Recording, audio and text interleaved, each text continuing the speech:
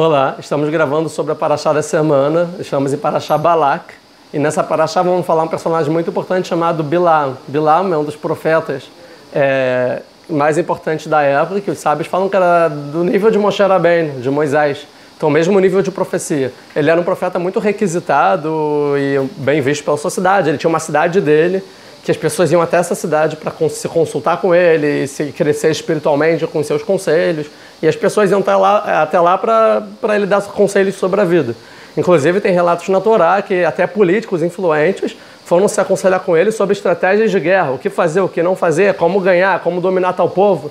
E ele, em nome de Deus, né, falava que se consultava com Deus, e aí ele dava a sua orientação, e assim era uma pessoa muito honrada pela sociedade.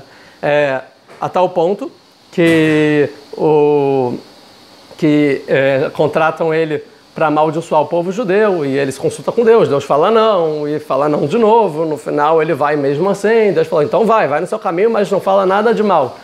E ele acaba tentando amaldiçoar o povo judeu. Deus interfere e no final ele abençoa. O que, que a gente pode apre aprender disso? A questão é como pessoas tão espiritualizadas, né, líderes espirituais, eles conseguem no final querer amaldiçoar o próximo. Então, quando a gente vem analisar Bilam, a gente consegue ver dois aspectos ou que talvez ele, a parte religiosa, é, dogmática, técnica, o rito dele talvez fosse 100%. Pode ser que sim, pode ser também que não. É, ele, aos olhos das outras pessoas, parecia uma pessoa muito elevada, muito espiritualizada, né, incrível, honrada. Mas no final das contas, quando a gente vai ver o comportamento dele, a gente vê que existe uma discrepância gigante entre o que, que ele fala e as características éticas internas. A gente vê que era uma pessoa que cobiçava o dinheiro, uma pessoa invejosa pelos, é, em relação aos patriarcas ao povo judeu, uma pessoa que tinha um mal olhado, uma pessoa que usava a boca para amaldiçoar o próximo. Ou seja, o, o nível espiritual dele não condizia com o nível ético dele. Então, é, é isso que pode acontecer às vezes é, a gente pode, às vezes, ver líderes é, religiosos, achar que são pessoas muito espiritualizadas, mas no final, é, talvez é pior de todos, isso não quer dizer nada.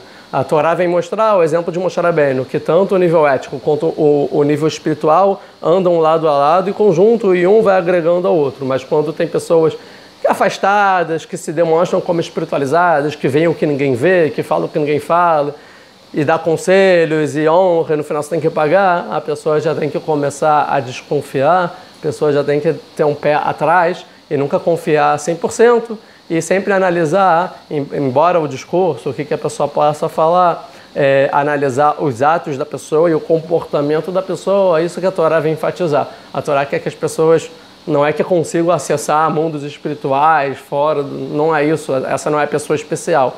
Pessoa especial é aquela que consegue ver o dia a dia, o seu comportamento e agir com humildade, com bondade, com um bom olhar, com boas palavras e assim iluminar os outros sem interesse pessoal. Então, é, esse foi o recado de hoje. Shabbat Shalom para todo mundo. E não esqueçam de curtir o vídeo, assinar o sininho, é, né, ativar o sininho e também é, se, é, perguntar né, e comentar. Muito obrigado. Shabbat Shalom.